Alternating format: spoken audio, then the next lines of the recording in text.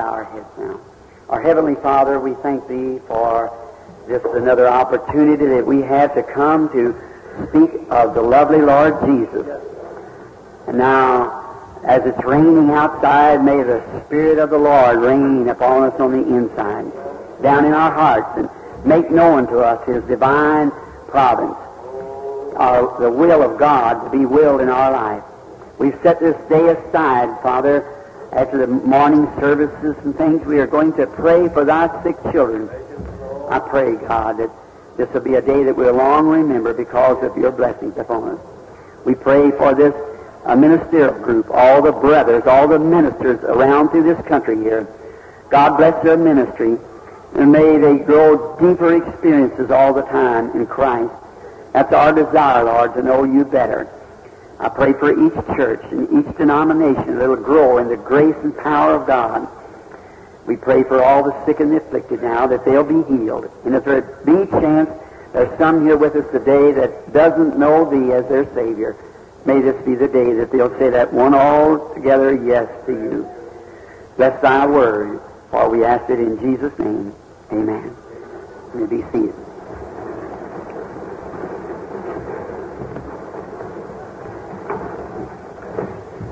I certainly want to thank first this group of ministers here of, of this uh, Birmingham and uh, the parts of the country here where they come in on this sponsorship to help me to come here. And I, I tell you, I think that ministers like that is to be honored your congregation should honor your, your pastor. Because, see, he's out, he's a shepherd. And if he finds something or he thinks to be good feeding, he'll lead his flock to it. And sometimes it's disagreeable. Sometimes it's, uh, some of them don't uh, see it that way, and maybe they don't like that for their sheep. Don't like the kind of pasturing. But to be one of the feeders also, a shepherd, I just try to bring the real grass of God, the real food, the Word. And so I, I appreciate them so much, and I pray that God will ever bless them. And may their life uh, be an influence to whosoever they come in contact with. Each one of us has ministries. A certain ministry will catch the eye of a certain person where the other one wouldn't do it. See? So we put ourselves together, as I said at the beginning, to try to bring the best that we know how with our ministry, my ministries, theirs, and so forth. We put it together to try to help you people to know more about Jesus Christ and to be better fit servants for Him as the, as the time approaches where we have to meet Him. Now, I want to thank the, the people here that let us have this armory. This is a nice building, and we appreciate that very much. We thank them with all of our heart. And I pray that each and every one of them will, if they're not saved, will be saved. And in that great hall of God yonder, when the angels sing, when the redeemed walks in, well, I trust that every one of them will be there without missing a one. And now, I thank you people. I never got a chance to ask the manager, but I believe that all the expenses and things were met, and I, I appreciate that. Every offering, everything that you did. And usually they take up uh, an offering. Did they do that? You didn't have to do that. They said he said they give an offering after everything was paid. You know, I've been a, in behind the pulpit now for 33 years, and I never took an offering in my life. Never one time, even in my own church, never took an offering in my life. I worked when I pastored the church there, the Tabernacle of Jeffersonville. I, 17 years with the Public Service Company, and never one time took an offering in my life. I paid my own uh, expenses and so forth and paid my tithes and everything I could right into the church and everything went right into the church. And now, usually out here, uh, they give me an offering. I want to make it clear because some of the trustees are sitting present now. The offerings that's given to me, the money, it doesn't go directly to me. I get a salary from the church. I get $100 a week. Uh, that's uh, $5,200 a year. $100 a week. But now, to the offering that you give to me, it's designated to the work of the Lord. Here's what the trustees does with it. It cannot be spent for nothing else. It's earmarked, as we call it, that it cannot be spent for nothing else. That money goes into a certain treasure. When that treasure builds up called for overseas missions, designated to that, and now many times overseas, you can see what we get up against here in the United States, you can imagine what it'd be over there. And when we go over there to those poor people that don't have nothing, not even enough to eat, way back in those heathen lands, I've seen little mothers laying on the streets and their little babies, their cheeks sunk in and dying, and a mother trying to give you the baby, and if you take that one, here's another one, here's another one, another one, and nothing at all to eat. And we wake, rake out enough in our garbage cans to feed those people. Right. We don't realize how well off we are.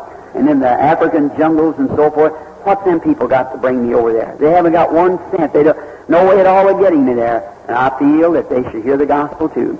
And the gospel that, that the Lord Jesus has given us this week, I take that money because I you give it to me, and I'm the steward of it. So it goes in by me working in this foundation. Then it cannot be spent for nothing else but overseas missions. And it takes the same gospel right over there to them. Don't I go myself that I know that I do the very best I can, knowing that I have to answer for every cent of that money. And I, I want to be a good steward to God. If I can't be faithful over those things, then how am I going to be faithful over other things? See? So I want to want to thank you. And the offering that was given to me, as the brother just said this afternoon, I, I asked them not to do that. But usually if they don't, and they know this, if the expenses cannot be made, then we take some of that offering of it's been sent in by mail at the church, it's designated to this other, then we write off the expenses. Don't, don't cost nobody. See, we never, and I have absolutely told the manager in every meeting, Brother Jack Moore sitting here was one of my first men in the field. He knows that I never would stand still for no begging for money. Who'll give this and who'll give that? Pass the collection plate and forget about it. God, it, when he when he quits when he quits supplying my needs out here, it's time for me to leave the field. Then, so I don't believe in this begging and pulling and persuading and threatening and and everything else for money. No, sir. When I first come into the ministry, I found out through history these three things that hurts a man, a servant of Christ. And when you, God will bless him and give him just a little ministry, then the first thing you know, one of the downfalls is money. Next is popularity. When he gets to think he's somebody, right then he's on his road out. See, uh, we're, there's no big shots among us. We're all the same. We're God's children. See, there's none of us big and none of us little. We're all God's children.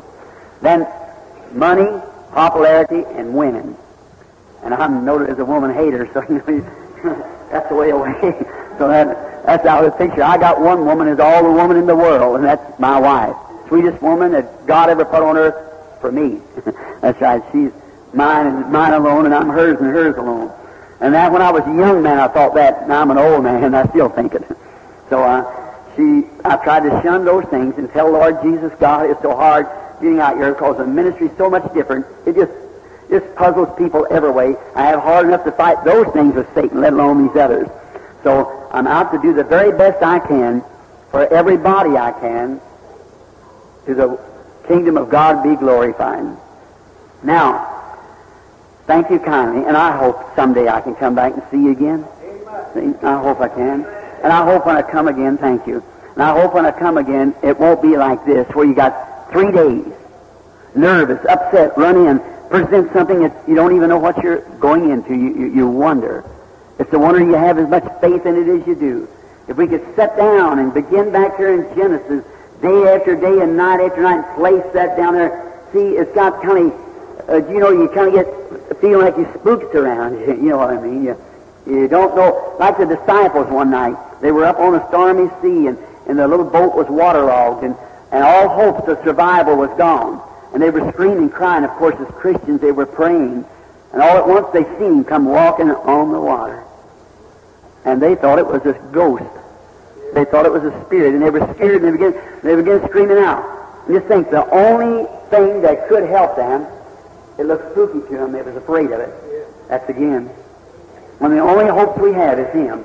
And the very promise of the Word. And yet we're afraid of it. Just, just afraid to give it a trust. It's, it's too bad. But remember, history always repeats itself. It has to remain that way.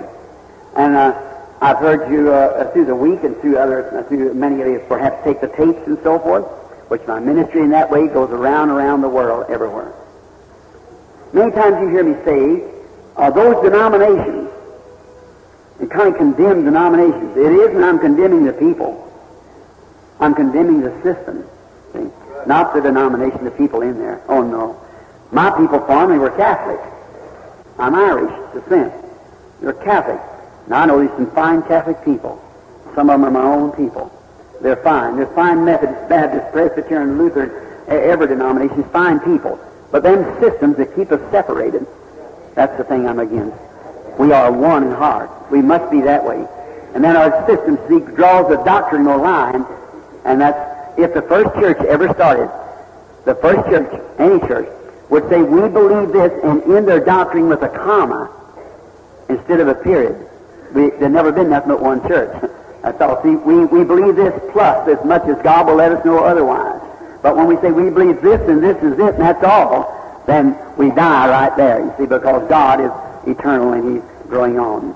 So thank you very much, and I want you to know there isn't a minister or person in the world that I know of any human being, no matter who it would be, but what my heart beats for, I want them for the kingdom of God. I'm working for one place up there, not for any certain denomination.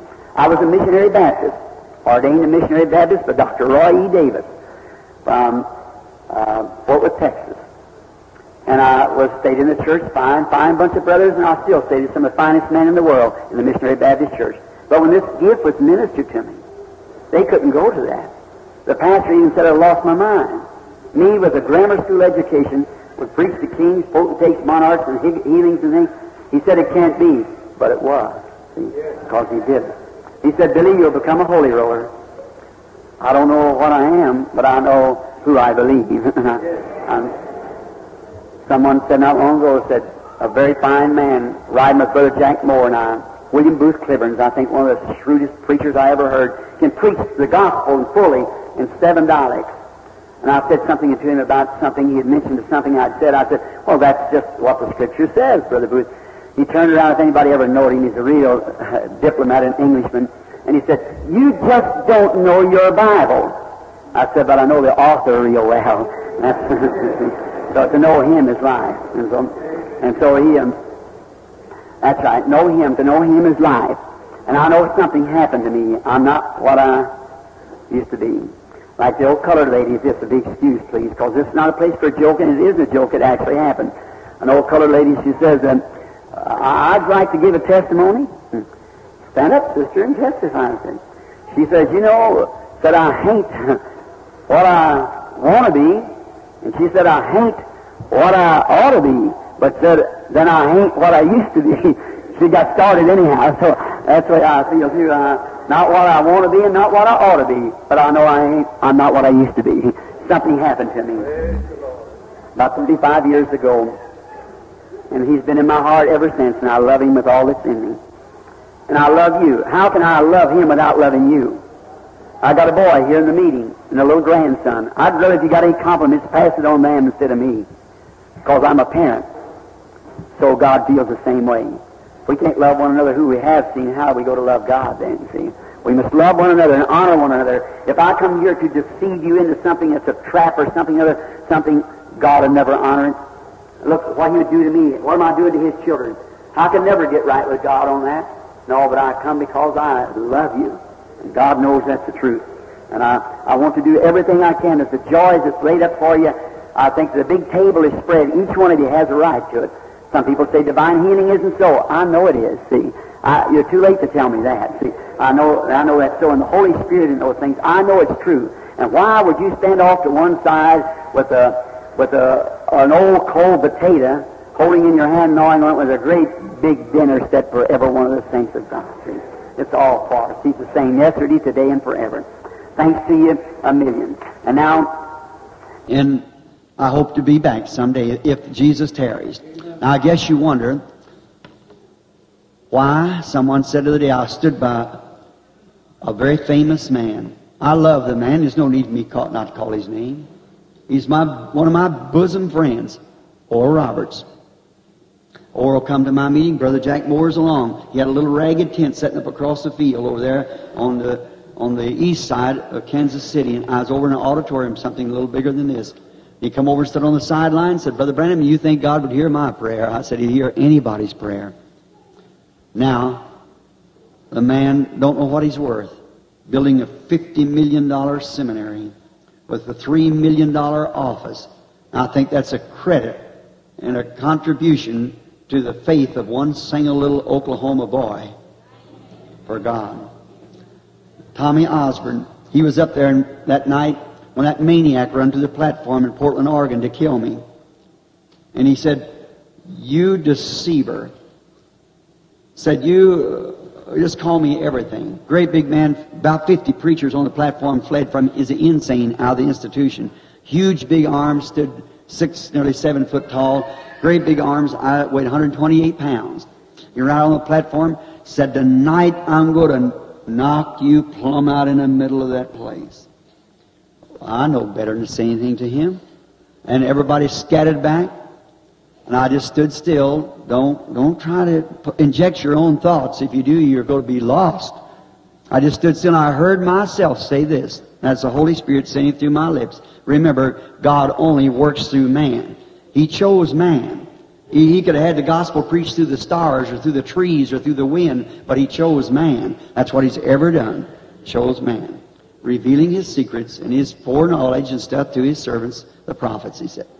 Now, the fellow was standing just a few feet from me, and he had threatened what he was going to do. He looked like a Goliath. And there, the Holy Spirit said, Because that you have challenged the Word of God, tonight you'll fall over my feet. And now you can imagine a man in that kind of a rage would think about a man weighing about 128 pounds to nearly 300 pounds of, of like a mountain standing before you, what he thought. He said, I'll show you whose feet I'll fall over. And he jerked back his big fist. I never moved, just stood there. And he walked up to me, drawed back like this to hit me, and I heard myself, nothing that I had to say at all, said, Satan, come out of the man. No louder than that. And when he drawed his fist back, his hands went up, his eyes pushed away out and went around and around. His tongue went out and slobbers fell from his mouth. He turned around, around, around and fell down and pinned my feet to the floor. And then here come the policemen out and they was hunting for him. I'd led those two police to Christ back there in the dressing room in this big auditorium. And so I think we had 60 some odd hundred on the inside and pretty near twice that on the outside. It pouring down rain. I'm standing up and down the streets with the umbrellas. And he helped me on the floor. And he said, Is he dead? I said, No, sir. Well, said, Is he healed? I said, No, sir. He worships that spirit, you see. There's no way of helping him at all until he gets that out. He said, I said, I wish you'd roll him off of my feet so he, I could move. See, Tommy Osborn saw that. And he went home and nailed himself in a room for three days.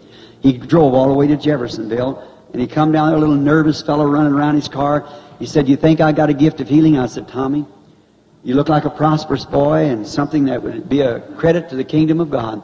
I said, Tommy, don't do that. Don't go to thinking about those things. I said, you know God calls you to preach the gospel. If He calls you to preach the gospel, divine healing's included in it. And he went up with Brother Bosworth, and the other day I stood and looked at his building, and oh my, million and a half dollars or something in it. And I looked over there at Oral stand there. I was waiting. I've been up Oral so nice, and all of them showing me around real nice brothers. And I stood there and I thought, think, I was on the field before they started. They each one tell you that they caught the inspiration from that. And I thought, I'd hate for them to come to my office. I got one little typewriter sitting in the end of a trailer. I'd hate for them to see. seeing. I thought, Lord, looky here. Look at this big building worth three million dollars, they say. And I thought, looked down the road and I went and said, the future home of so and so, future home. And I thought, but I, I don't say this in disregarding these brothers, but just what was said to me. I thought, where's my future home? Something said, look up. So that's good enough for me. Long I look for mine up there. So I don't say that they won't be there too, you see, but that was just encourage me, see. I wouldn't have sense enough to know how to handle money like that. God knows that too. And then what if I had great big obligations like that? Do you think I could come here to this place? You think I could hold a three days meeting here like Brother Roberts? When Brother Roberts has to have around 10,000 every day. Well, I'd go wild the first day to meet that. See, I can hold a meeting where there's five people or two people or one person or go wherever he sends me. I have no need of anything but more of him. So that's what I want you to pray, that I'll have more of him to know him. Lord bless you. Every crowd now, they have three classes of people believers, make believers, unbelievers. You have it in every crowd. Jesus had it in his, and I showed you the other night how he segregated them by saying things and never explained it. See, he never said why they'd have to eat his body, why he come, how he was it come down. Same one going up. When these people knowed he was just a man, had a bad name to begin with, but he said it just to test their faith. Those disciples never moved. They couldn't explain it. But look what Peter said, Lord, where would we go to? See, they had seen the Word of God for that day that was promised for them, vindicated. They say, we know that that is the source. Look at the Shunammite woman the same way. When she got the little boy from the blessing of Elijah, she said, saddle me a mule and don't you stop till I bid you. See? And she went to the man of God and he didn't know, but she knowed if God could have that prophet to tell her she would have a son, she could find out why God took her son. And she was persistent in doing so. And you remember, she stayed with her, her, her faith till she found out what was what caused it. And Elijah went, not even knowing what he would do, walked up and down the floor, laid his body upon the baby, and it come to life.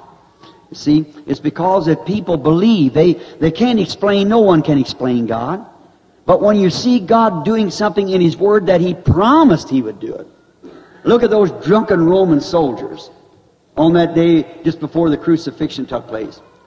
Setting him out there and smacking him on the face and in the cheeks and things like that. Said, now if you're a prophet, tell us who hit you. He knowed who hit him, but he didn't have to clown. See? He just he just did. He said, Verily, verily, St. John 5.19. Now listen. Verily, verily, I say unto you, the Son can do nothing in himself, but what he sees the Father doing. That doeth the Son likewise. Therefore he never done one miracle until God showed him by a vision what to do according to his own words. The Son can do nothing in himself. Not what he hears, but what he sees the Father doing. That doeth the Son. No prophet, no seer in the Bible ever done thing at random. God shows first. So no, no human flesh, not even the flesh of Jesus himself, can glorify. It's all in God. God does the showing, the seeing. We just act it out as He shows us and tells us. Each one of us does that. So may the Lord bless you now. And I'm going to ask you again this afternoon as we read the Word. Now, you're such a nice people. I could just stand and talk to you and talk to you.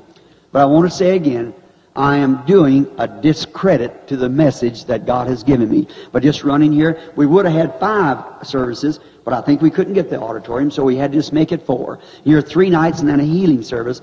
What? See, you don't even know the first approaches. So maybe someday, if God willing, uh, in the help of God and cooperation of you fine people, I would like to come back and get all my brothers, all of them together. We, it may sound a little funny, but come, let us reason together, says the Lord. Let us just, that, until that time, if I don't get to do it, remember, when I see you again on the other side of the river, God will witness again that this is the truth. I'm telling you, it's His Word. Wouldn't I be a hypocrite? What, what, what would I have in store? I've got a wife and some children at home crying on the telephone a while ago. Why don't you come on home? But these other children are sick and needy. These other man's wives and husbands need salvation. I can't do that. I expect to cross the river. See, over there, I'll sit down and rest a little while. And until then, I'm getting old and I can't, I can't feel like I did when I first started years ago, but I just go anyhow. Just go anyhow because this is the last opportunity I'll be able to do it in, in this life. The other life, it won't require this. Let us stand now in respect of His Word while we turn to Mark, the 16th chapter. And I'm going to begin to read from the ninth verse. Listen closely, if you wish. This is the closing message. This today is the closing message for this part of the campaign here. And it's this that I'm reading is the closing words, the last things that Jesus said to his church before he went away. The last words.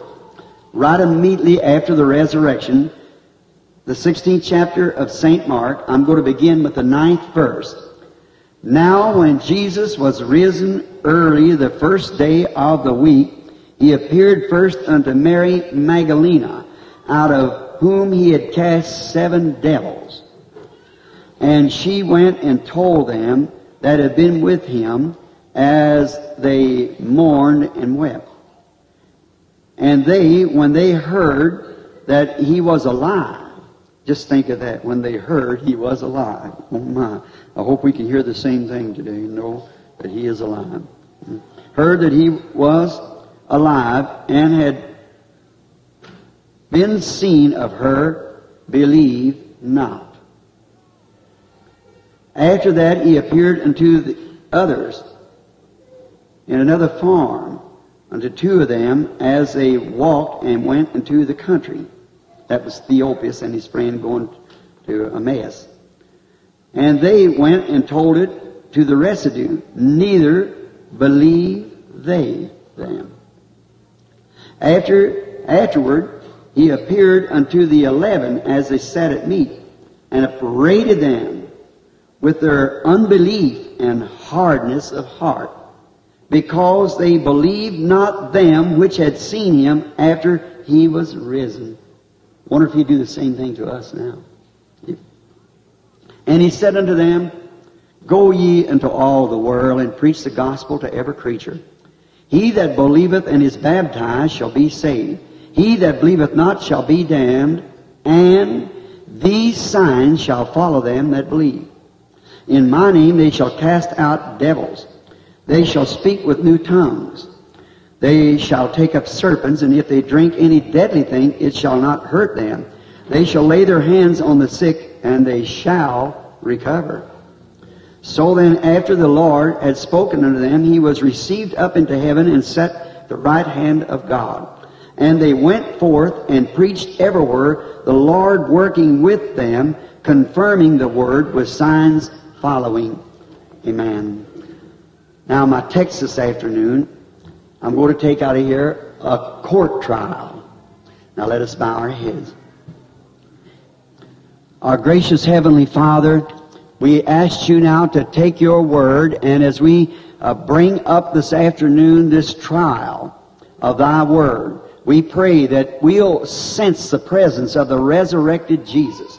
May we not be so slothful, and as you said to those when you talked to him on the road to Emmaus, how that you spoke to them, and you told them that they were, what was they worried about, what they so sad about.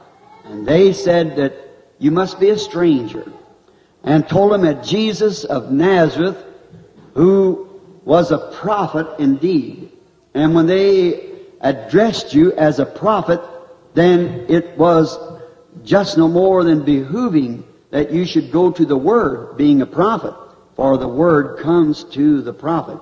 Then you turned to them and said, Fools and slow of heart to believe, not to believe all that the prophets have said concerning Christ, how he must suffer all these things that you have said, and then enter into his glory, and beginning from the Old Testament, way back at the beginning, he expounded to them what the prophets had said about himself.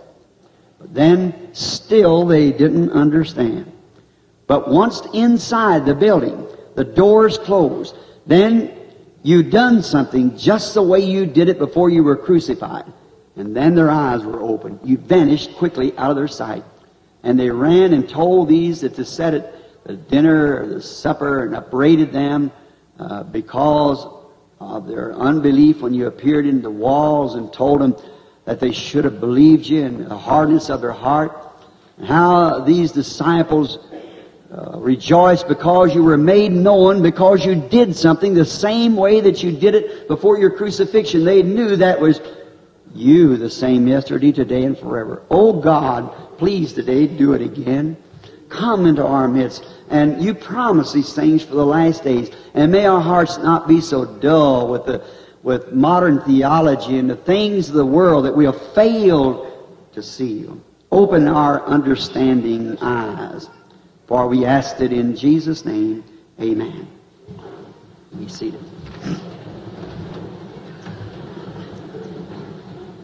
Now, I trust that the appearing of his vindicated resurrection this week, what little that we have seen, you could at this time, in this stage, being your first time, be a little skeptic of it because the only thing you see is just the minor part. But it's never one time been wrong in the tens of thousands times thousands of times. It's never been wrong. How many years a witness of that? Raise up your hand. It's been never, no matter what nation, workplace, it's never said anything would happen, but what happened exactly that way. So nothing can be that accurate but God alone. I mean, certainly. Of course, it's got to look shady. It has to be that way. So did it in his day and so forth. Even his birth and everything else looks shady. God does that just to test the faith of his people.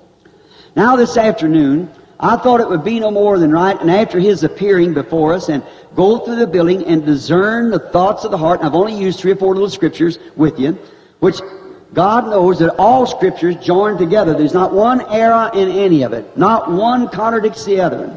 Now, people say it does. I've offered a year's salary to anybody who'll show it to me, Or the word contradicts itself. It does not contradict itself. If it does, it's no good to me. It must be exactly the truth. Now, God is going to judge the world by something. If He judges it by the church, then what church? Because one different from the other. But He's going to judge it by Jesus Christ. The Bible said so.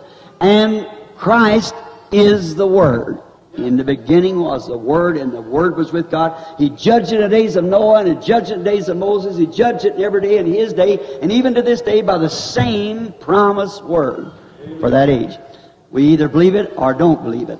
But He's responsible to make His Word right. You know, in Matthew 12 there it said that uh, though he had did so many things, yet the people could not believe because Isaiah says they got hearts, they can't understand, eyes they can't see, ears they can't hear.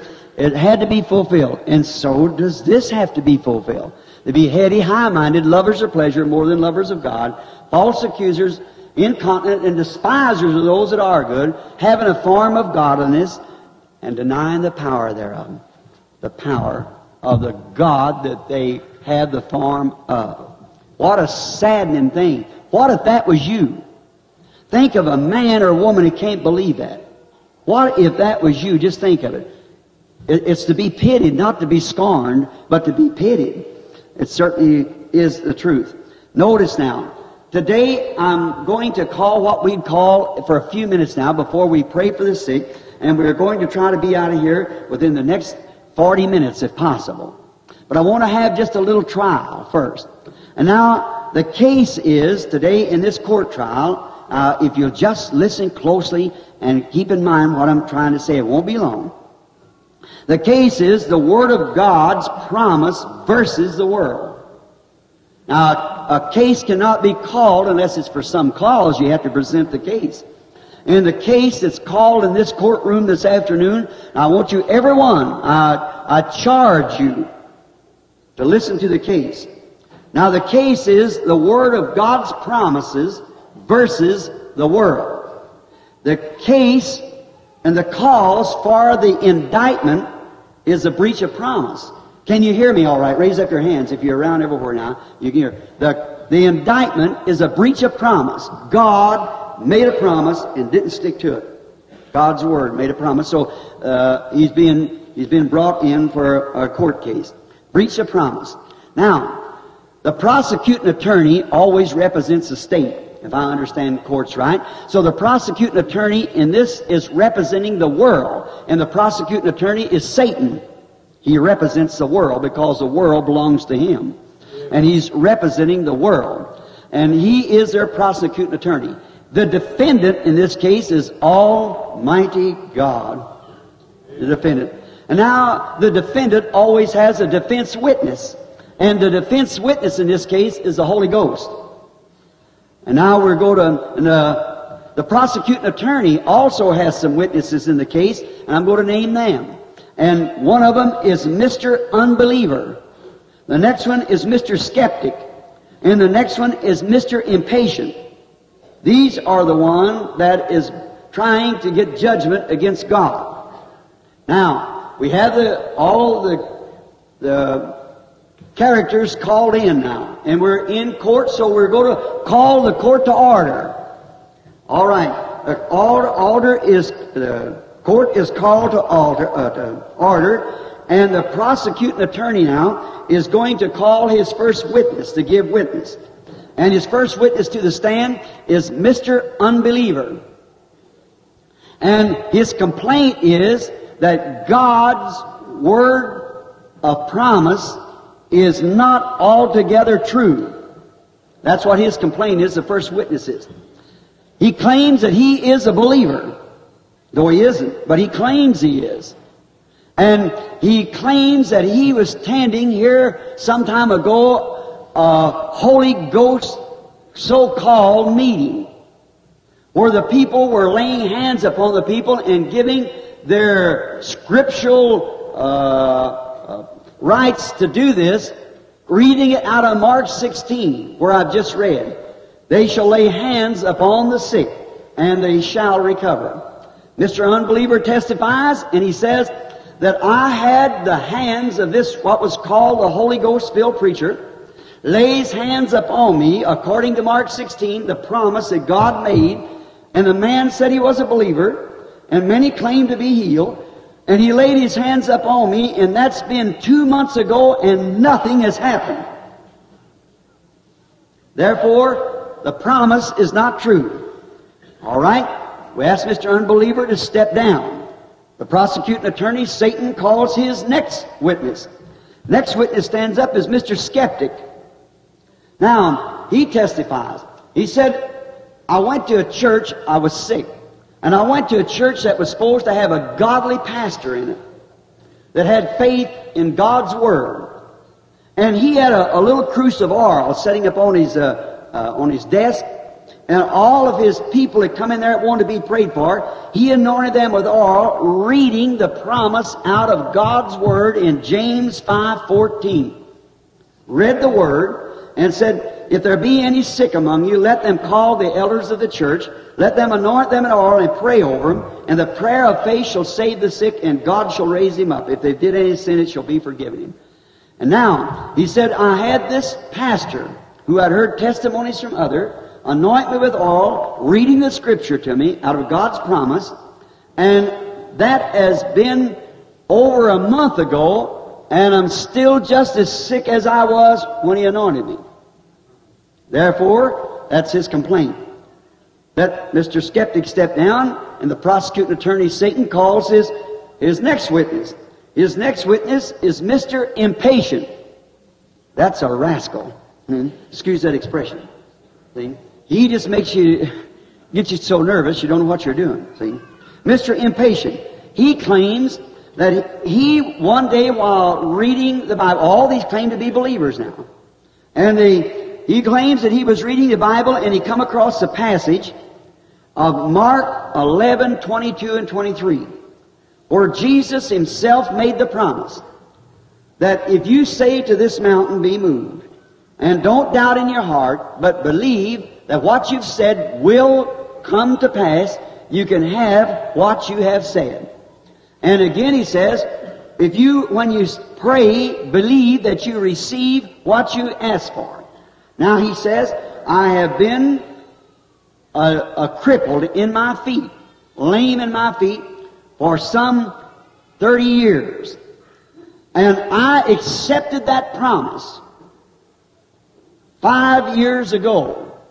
And nothing has happened since. I'm still just as crippled as I ever was. Now, now the pros- then he steps down.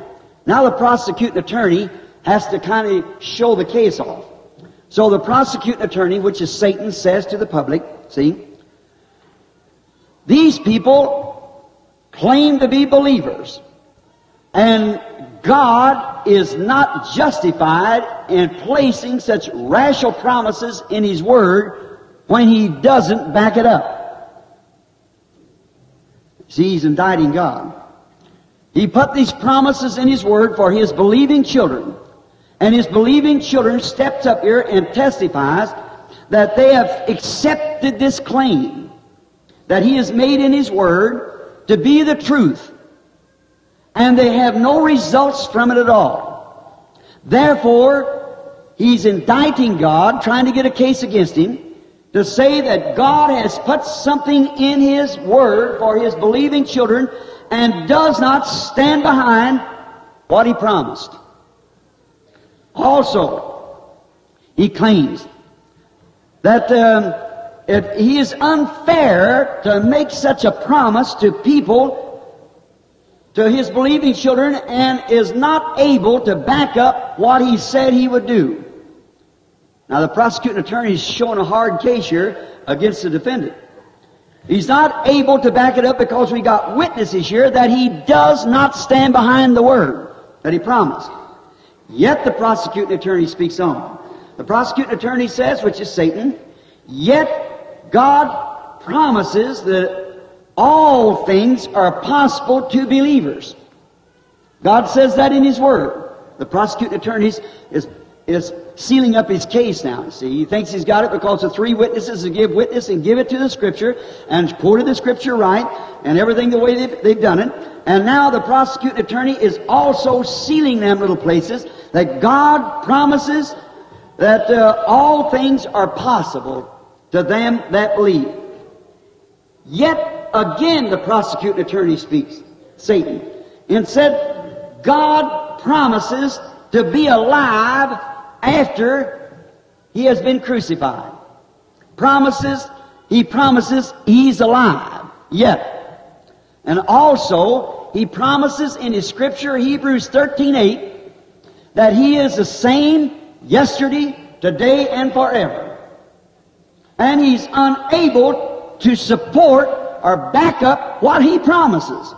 He's nailing it down real tight so that there's not a, a chance to get out of it. He's not able to do it.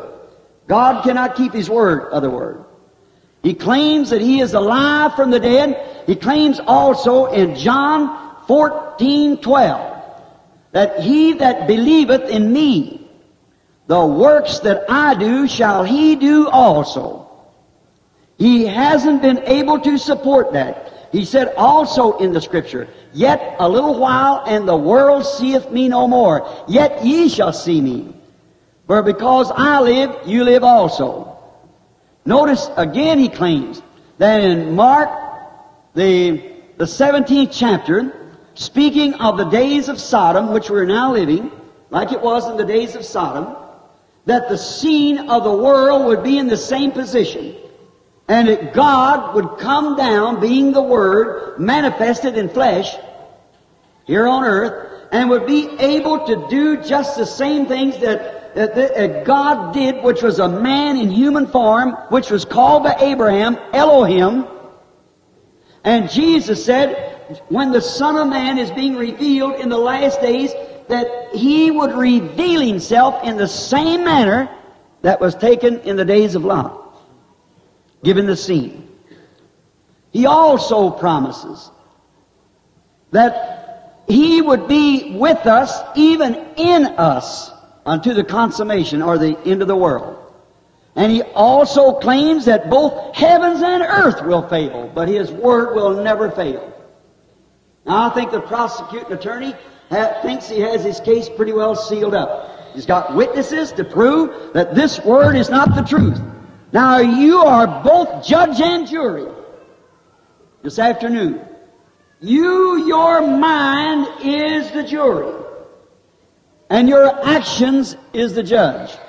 You, your, whatever your jury's verdict is, you'll act out what your verdict is. See? You'll have to do that. Because your action speaks louder than your words.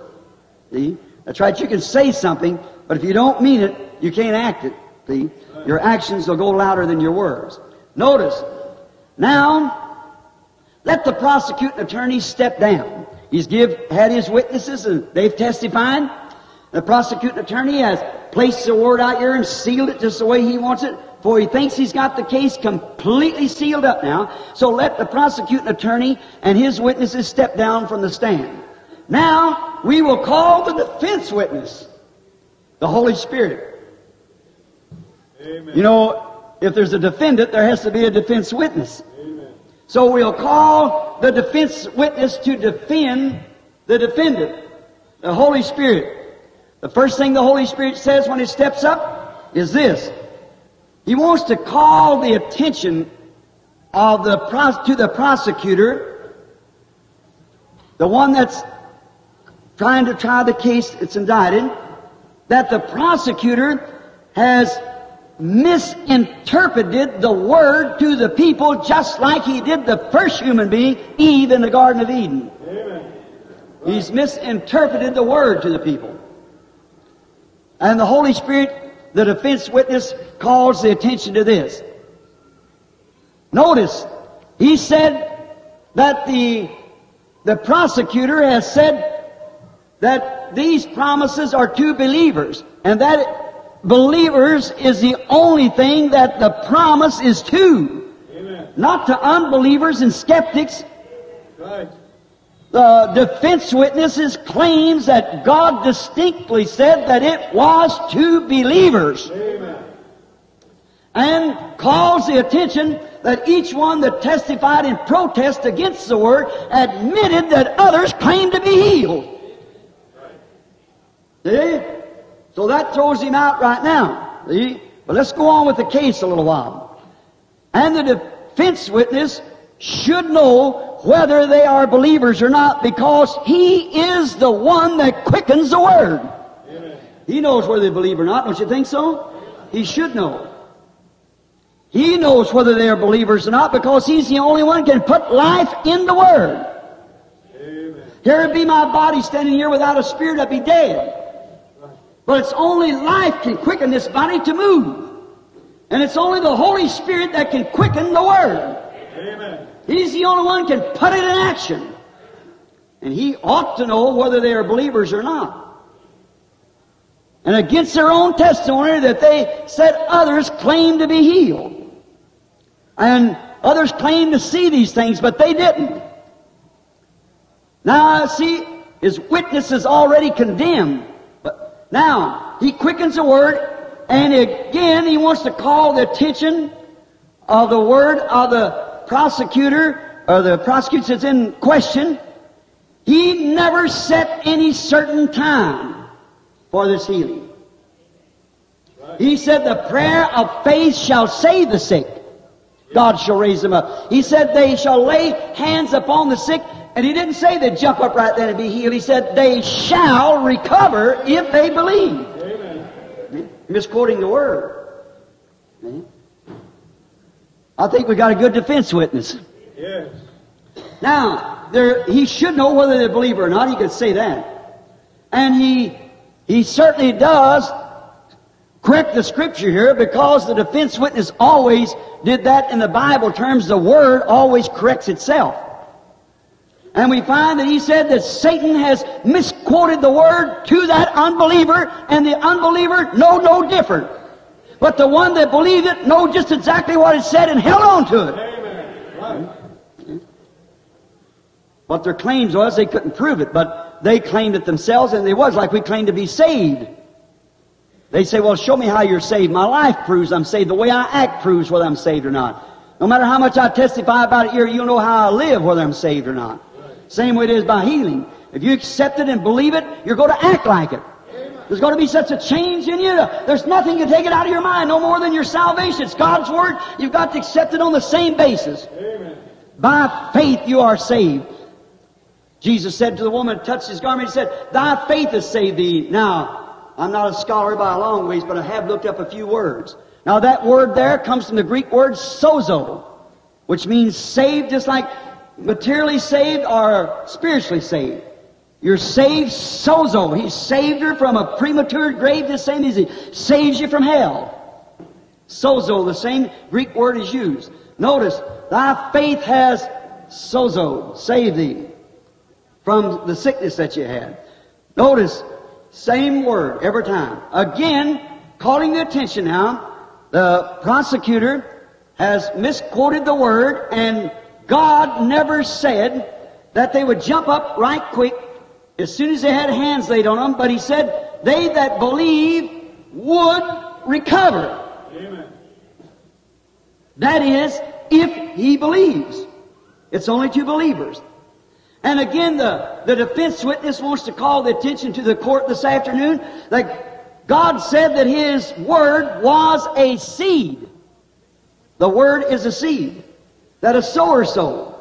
If this sow, seed falls in the right kind of soil, that's got enough uh, fertility in it to make this seed spring to life, quicken it, it'll live. Amen. Now, when a man plants a seed, if you're a farmer or know anything about planting any seed, if you plant a seed today, some corn, say you put it in your garden, and tomorrow morning you go out and dig it up and look at it and say, well, there's no difference in it. You plant it back. The next day you go back, look at it and say there's no difference in it. It will never come up. You can't do it. When you dug it up, you spoiled the picture right there. You've got to commit it to the earth. Amen. And that's up to the earth to do the rest of it. Amen. And every time that you look at your symptoms, testify about them, complain about them, God can never heal you. You commit it to God and believe His Word. Whether it's sprouting, whether it's whatever it's doing, you don't care. God promised it. And potentially, you have your healing when you accept it. It's in seed form. If I asked you for an oak tree and you gave me an acorn, potentially I have an oak tree. If I asked you for an ear of corn and you gave me a grain of corn, potentially I have an ear of corn. Then I commit it to the ground and water it and keep all the weeds away from it that would draw the strength from the ground around it. Keep the weeds out. Then it'll automatically grow because it's committed and it's a germatized seed. Now, if the seed isn't germatized, it won't. But if a seed has a germ of life into it, there's nothing can keep it from growing. Someone said, What do you think about the resurrection? Go out here in the wintertime, pour a piece of concrete down in your yard. And where's your thickest of grass next year when the spring comes? At the edge of the wall. See, when that sunshine and the world rocks around into position of that sun again, there's no way at all to hide it. Life finds its way. It winds its way under that concrete and so forth and comes right out to the end of the walk and sticks its head up and praises to Almighty God. The sun, S-U-N, controls all godly life. And the S-O-N controls all eternal life for Him and Him alone has eternal life. Can't hide it. There's bound to be a resurrection. Don't care where you're at, you're coming anyhow. And you've got to get healed if you believe it and accept it. Amen. It's a seed that a sower sowed and it fell into the ground. And if it comes, some fell on rocks, you know, it didn't have no root. Some fell in thorns and disappointments and that choked it out. But some went where there was no weeds and thorns and rocks. Now it depends on what you, if you let some unbeliever come to your house or, or some unbelieving person tell you, wow, there's that stuff, that's no, there's no such a thing as that, you're letting weeds come in. You resent that. Yes. Say, God said so. That settles it. I'm healed because I believe it in my heart. That faith laying there and all the unbelief taken away from it, it's got to bring it out. That's right. Now, the defense witness wants to call a, a few witnesses to the platform. Would we have time to do it?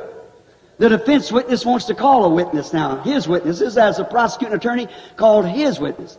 The defense witness shall call first the prophet Noah. Let him witness. Noah, what do you have to say now this afternoon about it? He said, I was lived in a scientific age, far beyond the scientifics of this age. It had never rained upon the earth.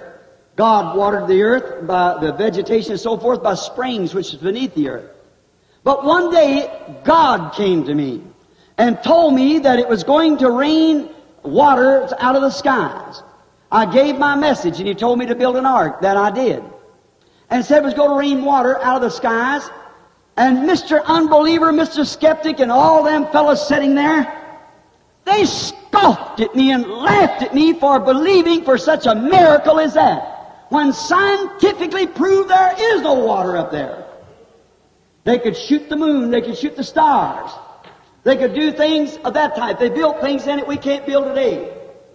So they proved scientifically there wasn't any rain up there. But Noah said, God told me it was going to rain, and I believe if God said so, He's able to put water up there. So I pounded away. Mr. S- Mr. Unbelief scoffed at me. Mr. Skeptic doubted me. Mr. Impatience, I pounded away till I built the ark. Every day they come by and said, Well, I guess it's going to rain today. Ha ha ha. See, same way. I thought you was well.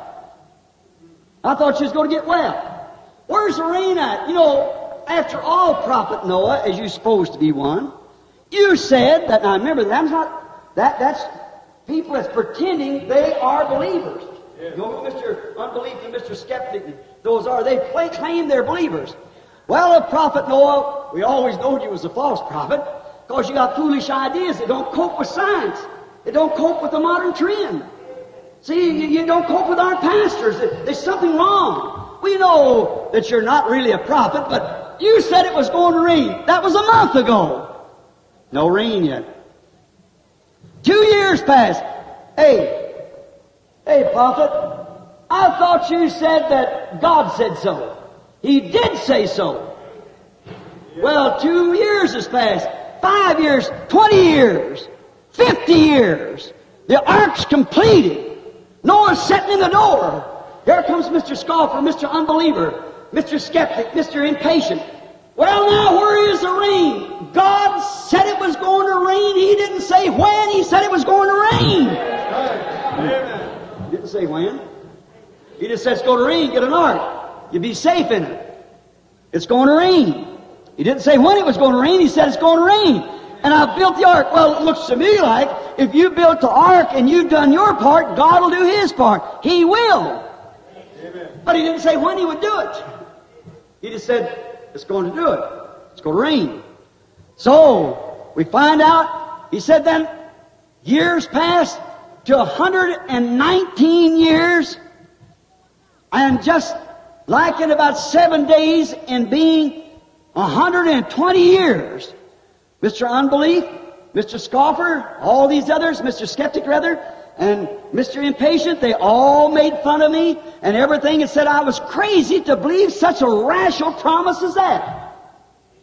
That if God did promise me that, He told something that wasn't true and He wasn't able to back up what He said. But I believed God and held steady. Amen. There you are. I believed Him. I held steady. And you know, one day, they come up to laugh at me and the door was shut. They said, well, the old fanatic went out there and shut the door, I suppose. But I heard him. But I told him, God shut the door. No doubt that the rain will fall today. That'll be it. The first day passed by, there was no rain. Then they really scoffed at me, telling God shut the door. I don't believe such stuff as that. Noah shut the door himself, him and his sons. See? Scoffer, unbeliever, skeptic. All right, it went on for a while. But on May the 17th, one morning, it rained. And it absolutely destroyed all those people that was put to a test against the Word of God and saved those who believed God and made preparations for Him. Noah said, let me test it. Noah, Noah stepped down. Let's call another witness. We haven't got time this afternoon. Let's let the, the defense witness now call the second witness. He'll call Abraham. Abraham said, I was just an ordinary man, a believer, and God spoke to me by His Word and said one day that I'd have a child with Sarah.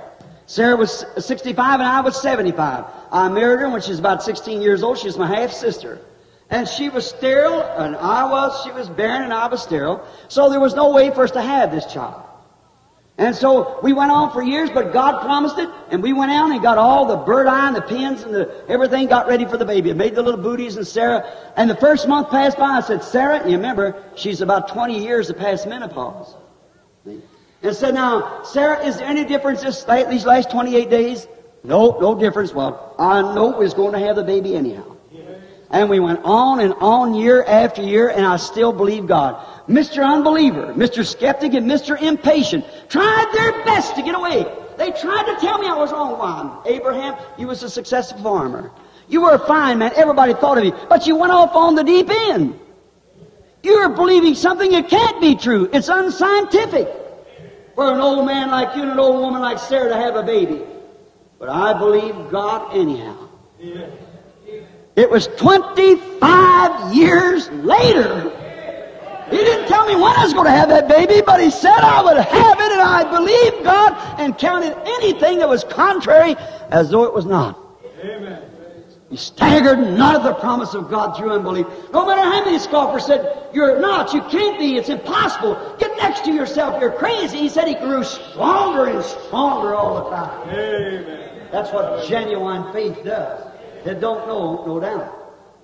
But if you don't know that, you'll give up right quick.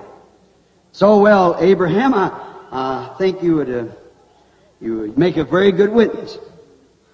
The word doesn't say when I was going to have the baby the first month, but it said we would have the baby. All right, let's call another witness right quick. Isaiah the prophet. Let's ask him something. Why, he said the Lord spoke to me one day in prophecy. I was a, a prophet. Everybody knows that what I said, the Lord honored. And they all believe me as a prophet. And one day there comes something rational. And it said, A virgin shall conceive. Well, now that was unusual. And it's usually in that unusual thing that God works. See? It's too strange, like Joseph. He wanted to believe Mary, but it was so unusual, you see. Too unusual. So I said, when I made that prophecy, everybody believed me. So every young girl got ready, that was unmarried, got ready to uh, have a virgin born child. Day after day, year after year, it passed on. And then they began to believe that I was a false prophet. But I know it was the same God that had always made these promises, so I stayed right with it. Amen. And it was some 800 years later before the baby come, but a virgin did conceive. Amen. His words come to pass. Right. Quickly, let's call another witness. Let's call Moses. Moses, you were born, all prophets are predestinated. We know that. Gifts and callings without repentance. Jeremiah, the God said, before you was even conceived in your mother's wombs, I knew you and sanctified you and ordained you a prophet to the nations. Jesus Christ was a woman's seed from the Garden of Eden.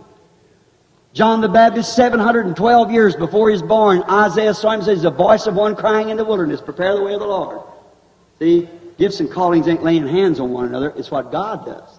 Born from birth. Those gifts are right in you when you're born. Notice, Moses, born to be a prophet. And here he was out in the wilderness after 40 years of getting ri- rid of his education that he had got down from Egypt. And yet, God appeared to him and spoke in a sign and in a voice, a pillar of fire, and a voice that was very scriptural and said this, I'm with you, Moses. You'll be my mouth. And Moses said, I complained. I, I didn't think that my mouth was worthy.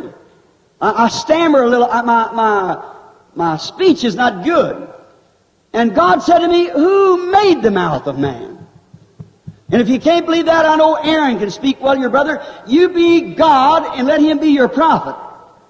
Let him perform and you speak the word. And I'll be in your mouth and speak the word. Now that's a pretty good setup.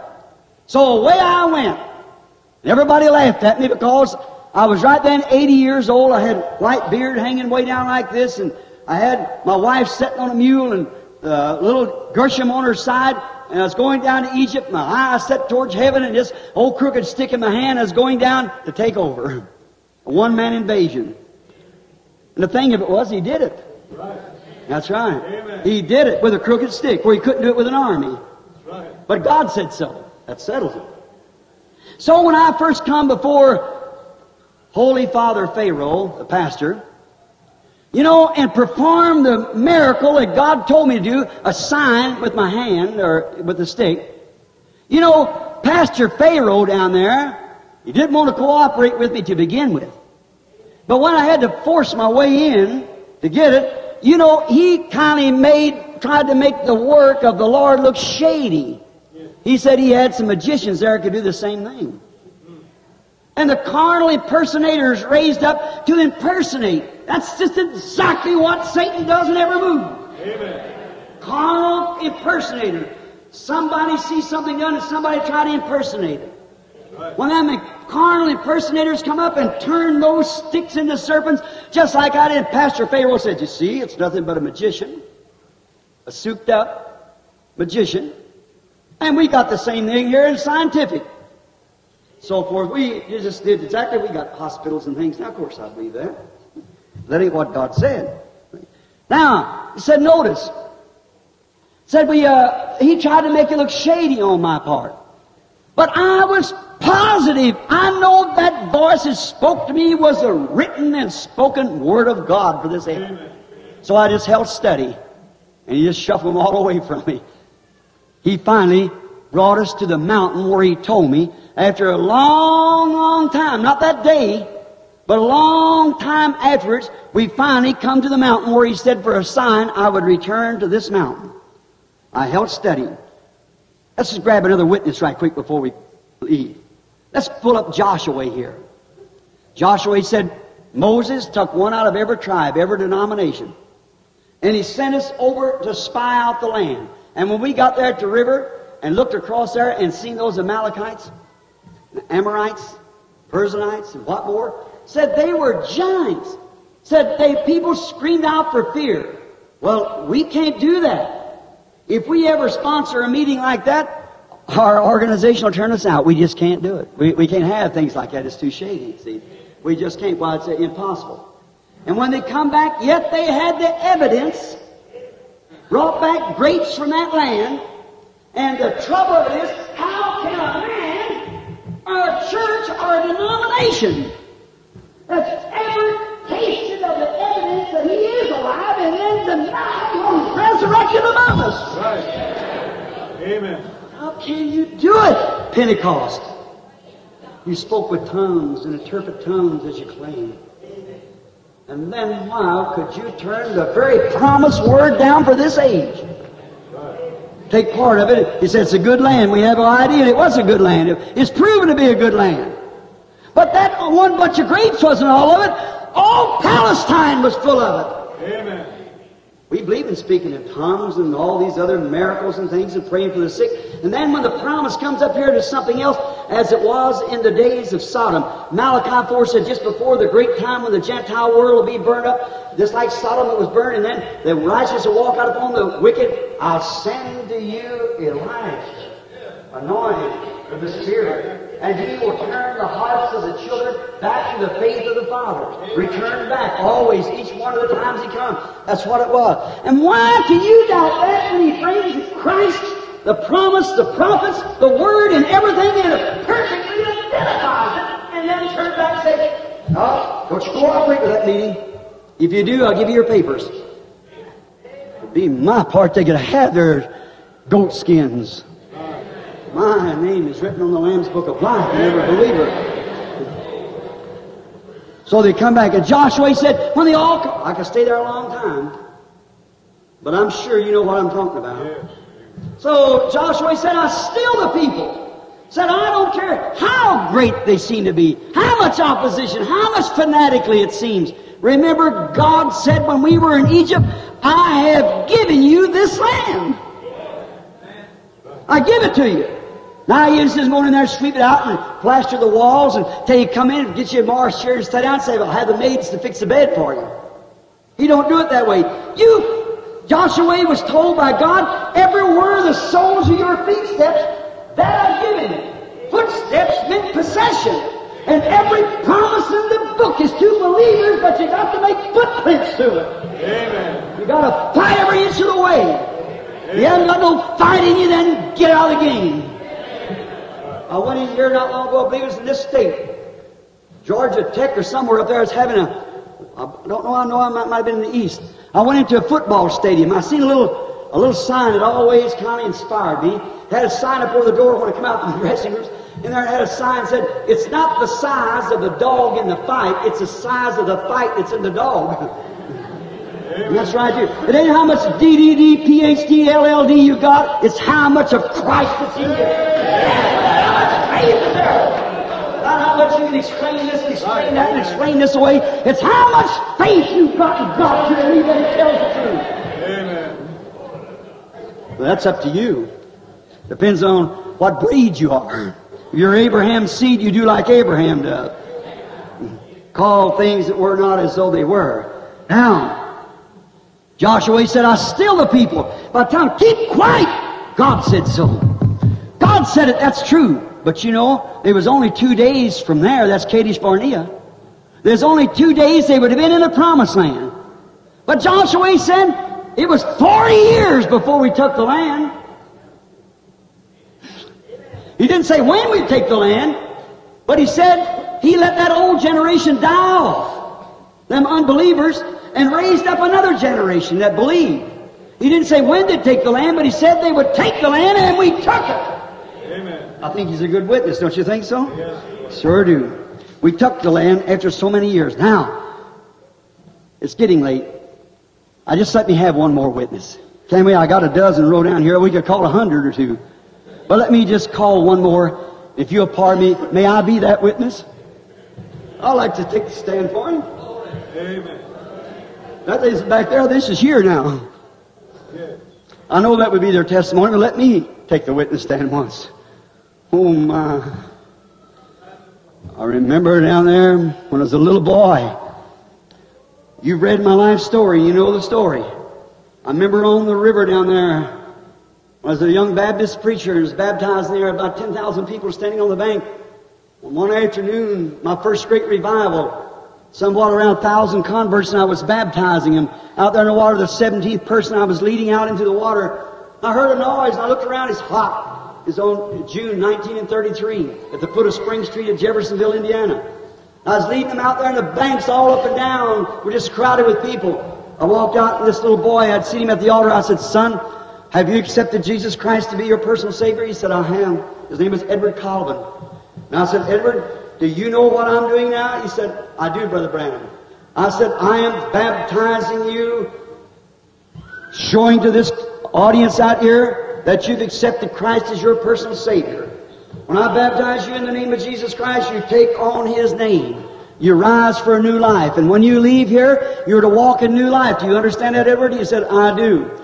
I said, bow your head. I said, Heavenly Father, as this young man has confessed his faith in you, and as thou hast commissioned us to go into all the world and preach the gospel, baptizing them into the name of the Father, Son, and Holy Ghost, commissioning them to believe uh, all things which you have taught, I therefore baptize thee, my beloved brother, in the name of the Lord Jesus Christ. And as I laid him into the water, I come up and heard something I looked at the crowd, and I heard a voice saying, Look up! I thought, what is that? Billy here, his mother, two or three years before we was married, she was standing there, I seen her face white, she had a camera in her hand. Look up! I heard it second time. I was scared. I looked around, the people standing there just looking, just dumbfounded. I heard it say again, Look up!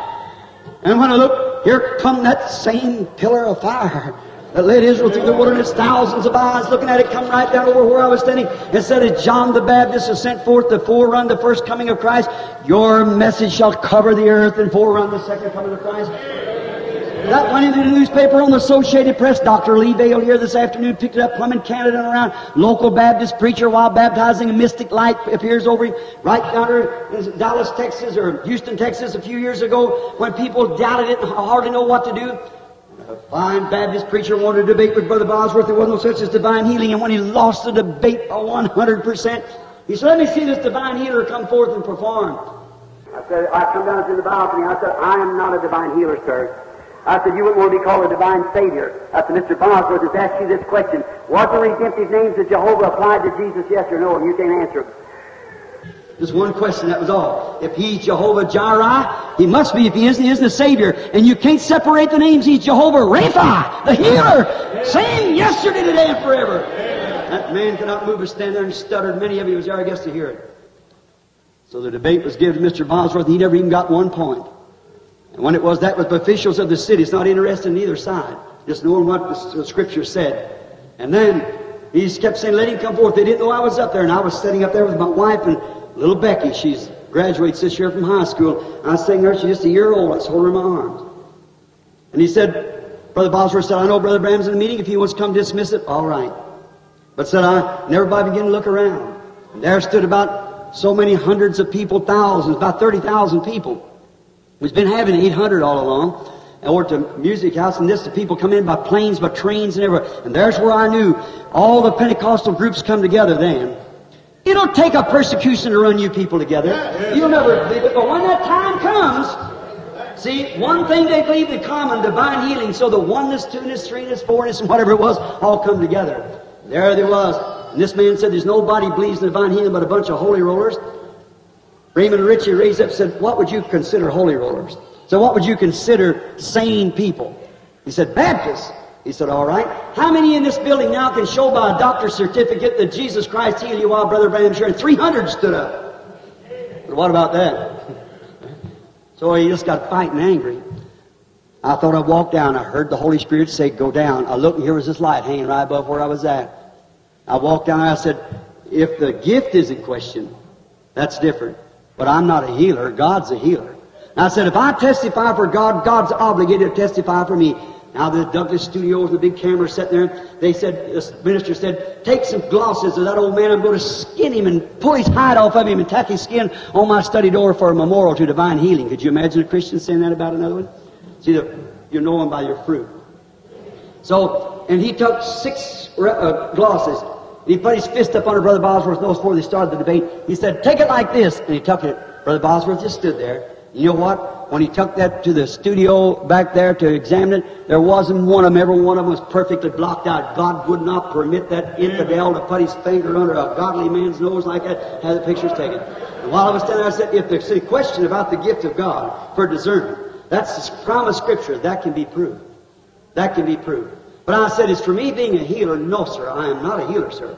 He said, as a man, I respect you. As a minister, I, I don't think much of you. I said, I'll return the compliments. And so just went ahead like that. So he said, I'd like to see you perform. I'd like to see you hypnotize somebody. Let me see him a year from today. Started turning around. I said, if I speak for God, God is duty bound to speak for me. And no more said that. And here come that whirl again.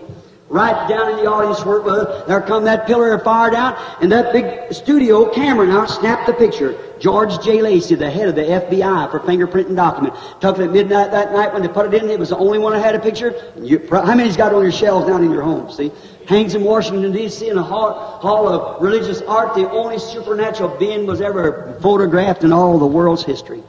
What is it? Amen. Watch it. Look at it this week. Look what it's done yesterday, today, and forever the same. Amen. If I had 10,000 tongues, I could not get through speaking for him. Yes, sir. My pastor said to me back there, said, boy, you had a dream. No matter what he had. I remember when I first started out and met you people here in these countries, he told me, said, the first gift will be that you, the voice behind this will be you put your hands upon the sick and don't say nothing. It'll say what it is. How many remembers that? And I said, then it will come to pass. He said to me that night when he met me at Greens Mill, and he, I asked him about it, and he said, that's the way it was in the early days. Said our Lord that they did it the same way, and this is the hour that this must be fulfilled. I know there's a lot of fanaticism in the world. I'm not responsible for other men's testimonies. I only have to answer for mine. Amen. I'm on the witness stand. And a defense for God and His Word that I know it's true. And His Word, when I heard Him tell me that, I would not have believed it if He hadn't showed me in the Bible that promised for this day. Yes, that's right. How many remembers I told you it come to pass? He said that they know the very secret of their heart. Raise up your hands. And did it? Yes. It's 33 years later. It didn't happen right then. It come into it like a seed growing. It's come up like His Word. And today, I am a witness that He lives.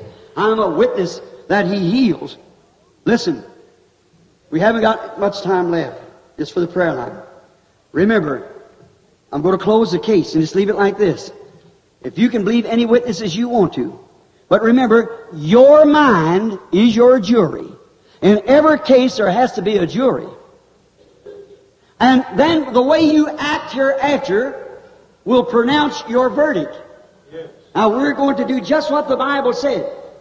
Lay hands upon the sick and they shall recover. That is the believers. These signs shall follow them that believe. Now, if you believe it, we believe it. Hundreds here could stand around over the nation.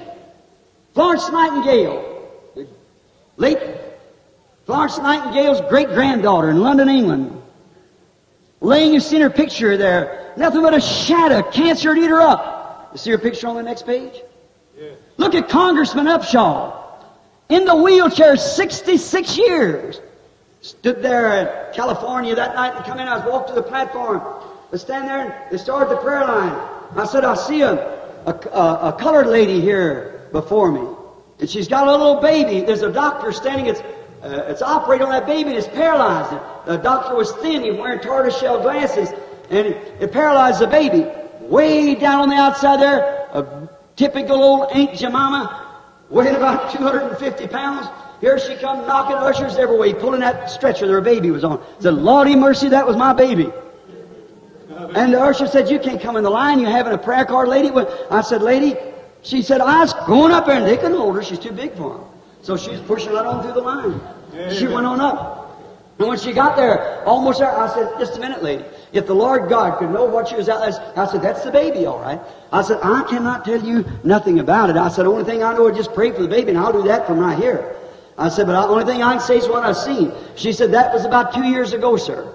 And she said, My baby, when they removed the tonsils, it paralyzed the baby. It says it's been paralyzed ever since. I said, Well, if your faith could touch him to bring that down, why don't you just sit there and pray? I turned around and I said, As I was saying in my message, I looked and I seen going down through the street. Looked like an alley. A little colored girl, the same one, with a doll on her arm, rocking it as she went along. I said, Auntie, God has heard your prayer. The baby's healed. Thank you, Up got the baby and I had to quieten it with like a militia and take that baby down through the crowd like that. Just a few minutes, I said, I see an old man. He's on a haystack. Now he's a young boy. He fell hurt his back.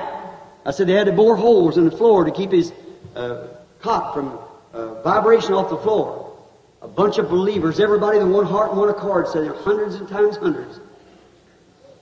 And I said becomes a great man, a speaker of some sort. And it left me. I went on, started on. Just then, Dr. Ern Baxter found out way back there in the wheelchair group, way back in the back.